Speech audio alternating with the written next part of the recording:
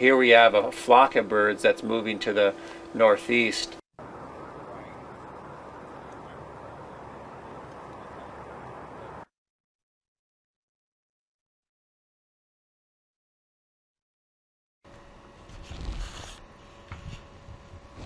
There's a lot of geese, there's a lot of waterfowl, so I would. Recommend it. We can bring it into our vehicle and we can see the bird hazards real time, actually when they're happening.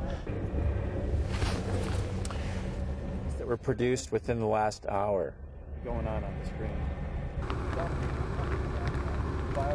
The reason I need to go out is to see if what we're looking at is a sparrow or if it's a Canada goose.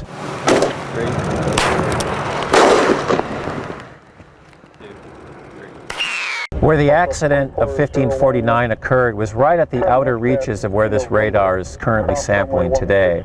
And the question comes up, even if we did or were able to detect those birds at that elevation, can you really give specific enough instructions to the pilot